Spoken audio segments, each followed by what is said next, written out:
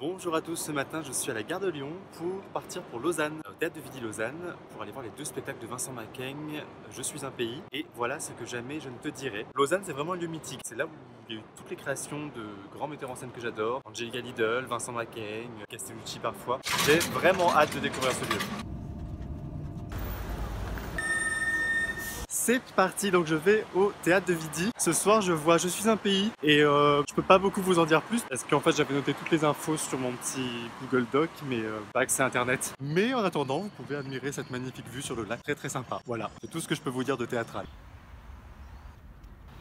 Alors ici on est dans la cantina, les murs étaient tout blancs juste avant la première. Vincent Macaigne trouvait qu'on voyait pas assez l'écran, il a voulu le détourer avec de la peinture et le détourage de l'écran s'est transformé en gros tagage de tout le lieu. Quand les gens sont entrés pour la première, la peinture était encore fraîche. Donc ce soir je vois euh, Je suis un pays et le sous-titre de la pièce c'est Comédie burlesque et tragique de notre jeunesse passée. En fait cette pièce, Vincent Macaigne il est parti euh, d'un texte qu'il avait écrit à l'époque qui est friche. Il a complètement retravaillé, plus du tout le texte d'origine. Et si j'ai bien compris donc c'est un texte qu'il voyait un peu comme un cauchemar de ce que pouvait devenir la société et il s'avère qu'aujourd'hui son cauchemar est devenu un peu réalité. Donc bien sûr ça parle de politique, ça parle de médias, ça parle de pouvoir, c'est un petit peu lié tout ça. Ça parle de solitude, ça aussi c'est lié aux trois autres. Et c'est bien les thèmes de Macaigne, ça on les reconnaît bien. C'est la troisième création de Macaigne à Vidi Lausanne et donc le spectacle c'est tout de suite.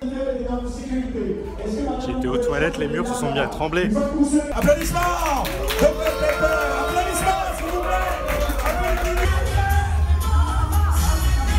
Ajoute, c'est Macaigne. C'est l'entracte. Pour l'instant, là, c'est un des meilleurs spectacles de Vincent Macaigne que j'ai vu. Je suis mais conquis. C'est je peux peut-être sortir, il y a la musique à fond. Vincent Macaigne. Donc je disais, ouais, je pense que c'est vraiment un des meilleurs spectacles que j'ai vu de lui. C'est hyper trash et hyper cynique. C'est hyper cynique sur la précarité. Ça commence avec cette femme de ménage qui fait tout un, un discours euh, qu'elle va vendre ses enfants, qu'elle vend leurs organes. On touche le fond, le fond du fond. On peut pas aller plus bas. Ça va jusqu'à cette fille qui se fait violer sur euh, la musique de Marilyn Monroe, I Wanna Be Loved by You.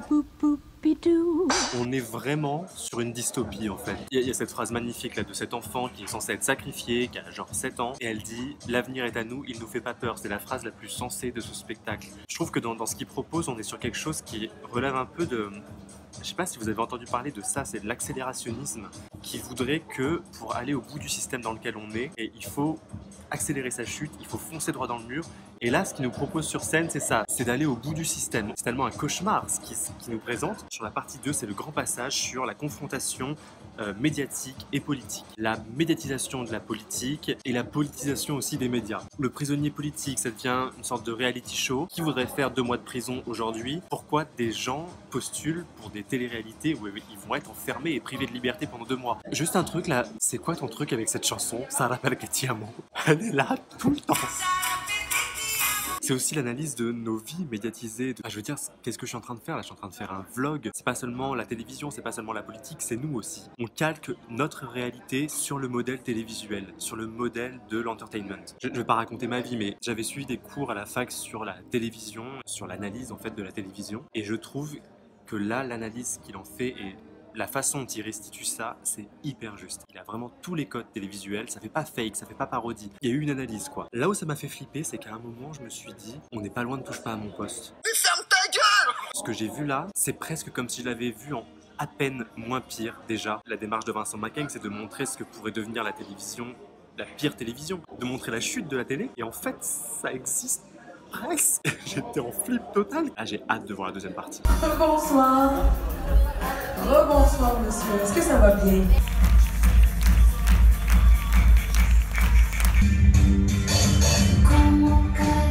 C'est ça les choses de Vincent Macaigne.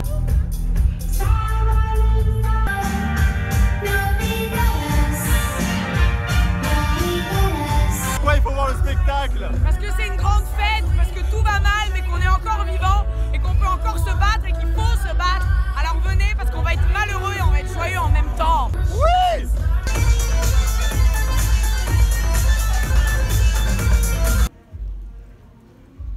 Un moment du spectacle, surtout vers la fin, j'ai repensé à Répétition de Pascal Rambert. Je me souviens que j'avais été très énervé par le monologue de Stanislas Nordet à la fin. Il y avait une injonction comme ça levez-vous, jeunes gens, levez-vous, jeunes gens, levez-vous. Il hurlait ça X fois. Ça m'avait gonflé. Je trouvais qu'il n'y avait pas moins encourageant que ce monologue. C'était un peu prétentieux. Là, avec McCain, c'est complètement l'inverse. Il n'y a pas d'injonction à sauver le monde. Il montre juste le chaos, il l'amplifie, il le surligne. Il montre cette société un peu hystérique où tout bouge, tout bouge très vite et tout reste en place. Dans sa composition, il y a des liens évidents avec notre société, on les voit, mais c'est jamais un mode d'emploi. Il n'a pas la prétention de détenir une vérité ou une solution. Et ça, ça donne envie de participer. Ça donne envie d'y aller dans sa révolution. Juste avant le spectacle, il y avait Éric Vautrin, le dramaturge de Vidi, qui a utilisé un néologisme de Walter Benjamin pour qualifier Vincent Macaigne, qui est destructif, destructeur et constructif. Et effectivement, c'est ça en fait. Il détruit tout pour permettre une reconstruction. Mais la reconstruction, c'est pas à quoi elle va ressembler.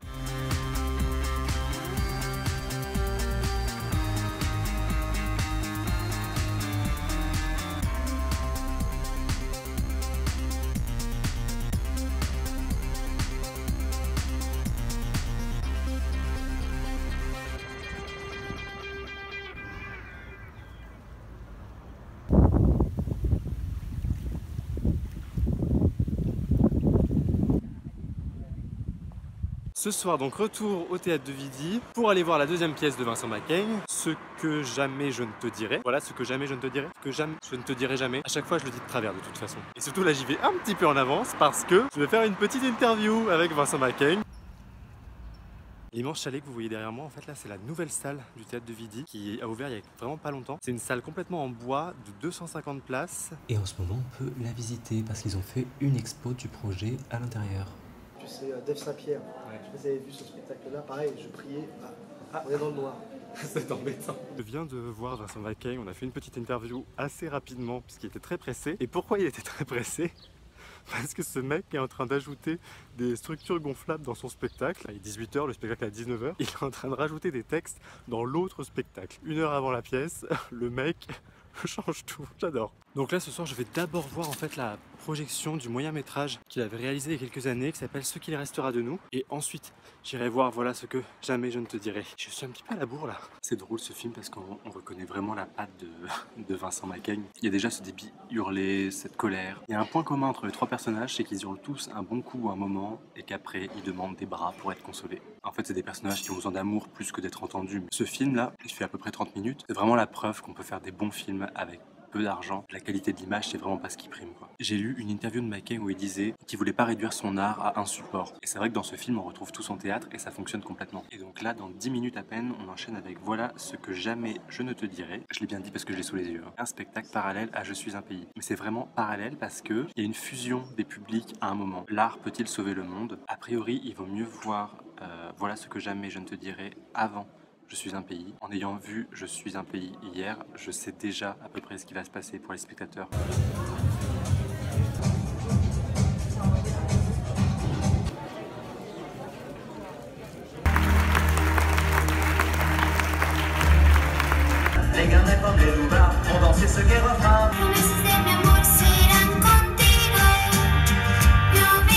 Effectivement, ce spectacle est vraiment à voir avant Je suis un pays. Je suis très content parce que dans le spectacle, à un moment, il parle d'accélérationnisme. Du coup, ça me fait plaisir de vous en avoir parlé juste avant. On est chez McCain toujours.